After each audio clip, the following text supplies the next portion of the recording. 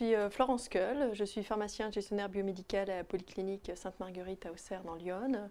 Je suis en poste euh, donc à la clinique depuis 2008 et euh, dans le cadre donc de notre démarche d'hôpital numérique, je suis devenue chef de projet depuis cette année. Donc étant membre du COPIL Messi, il m'a été demandé donc de prendre cette démarche en, en main. et donc voilà. Alors, le dispositif euh, d'accompagnement euh, de la NAP, euh, pour moi, il a présenté un très grand intérêt parce qu'en fait, il était axé sur deux éléments très complémentaires. Une partie que je dirais assez théorique, qui est en fait représentée par la plateforme sur le site Mon Hôpital Numérique, euh, plateforme sur laquelle on peut trouver en fait des outils, des guides via un moteur de recherche, et puis une partie beaucoup plus pratique euh, avec la possibilité de solliciter un ambassadeur, donc une personne donc, euh, qui est comme nous un professionnel de santé, mais qui est expérimenté et qui est formé aux outils de, la NAP. Ben, très bénéfique, hein, puisqu'on a une aide, une aide virtuelle par un support et une aide technique et expérimentée par un ambassadeur. Dans notre démarche euh, d'hôpital numérique, on a souhaité être accompagné, hein, puisque en fait on est une structure qui n'a pas suffisamment de, ressources en interne. On voulait avoir une expertise euh, et donc on a sollicité l'intervention de l'ambassadeur euh, Saber Aloui. Cette sollicitation elle s'est faite en juillet, il est intervenu donc en septembre. Et puis donc sur cette intervention, on a eu la possibilité d'avoir donc des échanges, un partage d'expériences et un regard extérieur sur nos pratiques et, et justement un appui méthodologique euh, euh, très important. Euh, la venue de Saber Aloui, ambassadeur de la NAP, nous a permis de structurer notre démarche, nous a apporté en fait un ensemble de compétences et d'expériences donc extérieures, ce qui n'est pas négligeable donc pour un établissement qui n'a pas forcément toutes les ressources nécessaires et toute l'expertise sur l'ensemble des domaines des systèmes d'information. Alors l'expertise euh, principale, euh, c'est l'appui méthodologique. On a besoin en fait de, de documents support, on a besoin d'être aiguillé, de savoir effectivement euh, qu'est-ce qu'hôpital numérique en fait réellement dans, sa structure, ce que ça nécessite effectivement de produire et l'apport en fait d'un expert qui a été en plus formé donc aux outils de la NAP va nous aiguiller dans notre démarche. Ça apporte forcément euh, beaucoup de choses parce que les systèmes d'information hospitaliers maintenant sont au cœur euh, de nos métiers, de nos pratiques. Euh, il y a un enjeu très important de sécurité, de qualité. On doit maintenir en fait notre activité et notre organisation des soins. Et sans une démarche d'accompagnement, un établissement ne peut pas produire en fait l'ensemble de ces éléments et ne peut pas être dans l'efficience exacte de, ce que, de ce que nous attendons nous.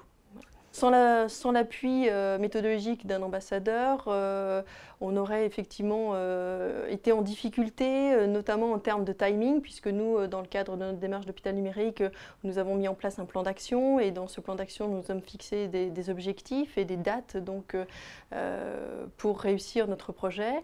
Et n'ayant pas d'appui et n'ayant pas forcément toutes les ressources en, en interne, nous aurions effectivement dépassé ces délais et notre plan d'action n'aurait pas pu être respectés.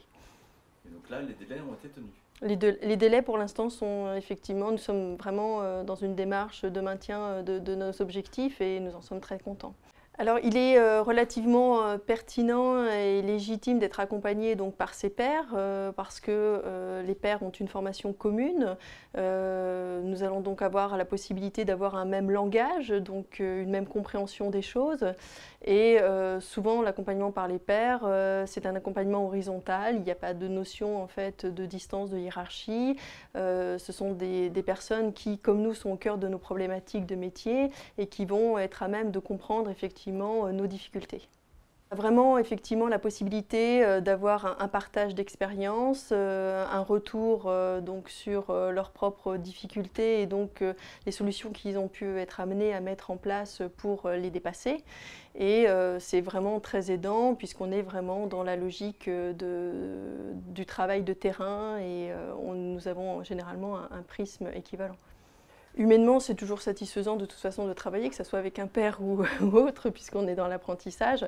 Après, euh, c'est beaucoup plus facilitant parce qu'en fait, on est vraiment euh, dans une notion de, partage euh, d'expérience commune.